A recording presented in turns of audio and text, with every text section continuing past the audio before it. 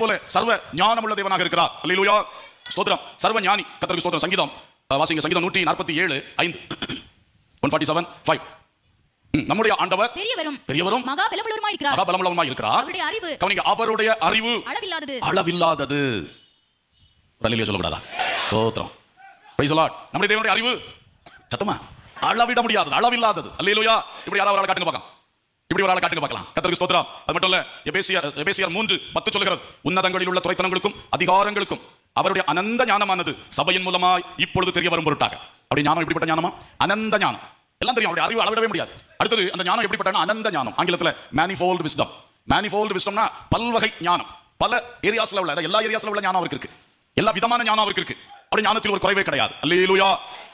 Sir Isaac Newton நினைக்கிறேன். பயங்கரமான கண்டுபிடிப்புகளை கண்டுபிடித்தவர். அவர் ஒரு பூனையை பெற்றாக வளர்த்தார். அப்போ அந்த லேபில் உட்காந்துருந்தா மனைவி கூட உள்ள வரக்கூடாது. டிஸ்டர்ப் பண்ணி விட ஆராய்ச்சியில் இருப்பார் ஆனால் அந்த பூனைக்கு மட்டும் சின்ன ஒரு ஓட்ட போட்டு வச்சிருப்பார் அது மட்டும் வந்துட்டு போயிட்டு இருக்கலாம். அப்படி இருக்கும்போது அந்த பூனை ஒரு குட்டி போட்டு விட்டு. அப்போ சாப்பிடும்போது மனைவி கேட்டார்கள் என்ன?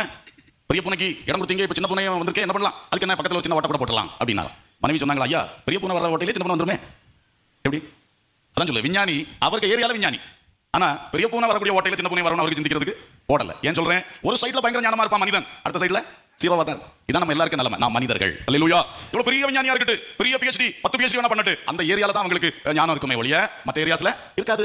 பயங்கரமா ஞானத்தை வெளிப்படுத்துறாங்க. கடைசியில் பார்த்தா சின்ன காரியத்தில் கோட்டை விட்டுருவா. அவங்க குற்றம் சொல்ல முடியாது. அவங்க அதில் கான்சன்ட்ரேட் பண்ணியிருக்காங்க. அதில் பயங்கரமா நேரத்தை செலவு பண்ணியிருக்காங்க. ஞானத்தை சம்பாதிச்சிருக்காங்க. ஆனா எல்லா பகுதியிலையும் இருக்காது. தேவன் ஒருவருக்கு மட்டுமே மேனிஃபோல்டு விஸ்டம் ஹalleluya அனந்த ஞானம் அனந்த ஞானம். அளவிட முடியாத ஞானம். அல்லேலூயா.